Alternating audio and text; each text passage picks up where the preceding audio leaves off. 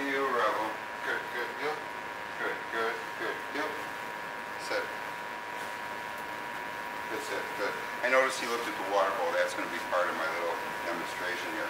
The fact that he has interest in water is another opportunity opportunity for me to demonstrate the technique that I'm going to show you when we come in. Good, good. And this tech technique, at first I teach eye contact. I take big no, sit. Good, good. That's why you have the leash on. You're always ready. In fact, I can say no, sit. Good, good, wanted the water. I hope so. Heel. The whole key to this exercise is heel. Sit. Good sit. Good sit. Good sit.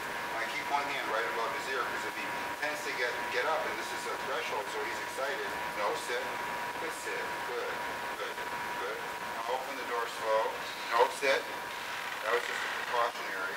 I'm ready to snap up. Sit. Good sit. Good sit. Good sit. Now I'll go back to hands. There's only one way I'm going to move. Good sit. Good sit. Good. Atta boy. When he makes eye contact.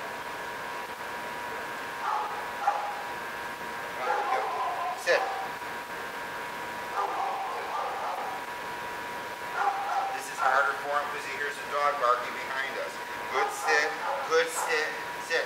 Good, good, good. Attaboy, heel.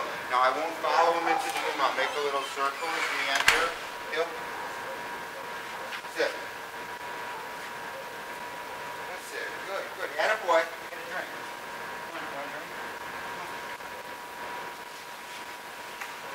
I thought he wanted some water, but I would have made him make eye contact before I let him get a drink.